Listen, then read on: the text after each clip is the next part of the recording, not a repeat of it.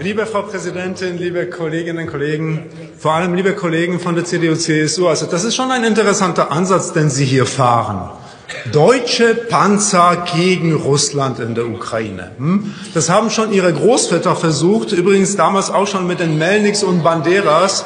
Und was ist das Ergebnis? Unsägliches Leid, zig Millionen Tote auf beiden Seiten und am Ende russische Panzer hier in Berlin. Und zwei davon stehen hier vorne und Sie sollten jeden Morgen daran vorbeigehen und sich daran erinnern. Die Russen haben über 10.000 Panzer. Die können zwei Millionen Leute mobilisieren.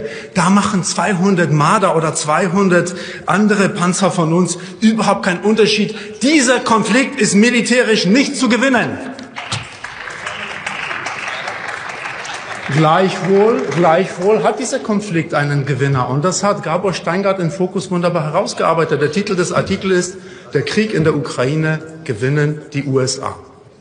Die USA gewinnen geopolitisch, sie haben ihre Einflusszone erweitert bis an die Grenze Russlands und sie gewinnen auch wirtschaftlich. Sie profitieren von den Sanktionen und sie profitieren von den Waffenlieferungen. Sie, wussten Sie das? Die Amerikaner verließen ihre Waffen an die Ukraine.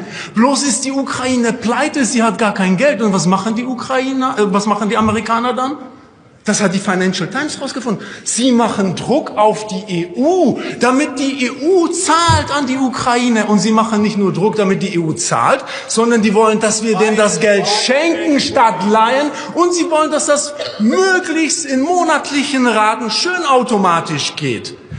Liebe Kollegen von der Union, Sie sollten nicht der NATO verpflichtet sein, nicht der US-Botschaft und auch nicht den amerikanischen Rüstungskonzernen.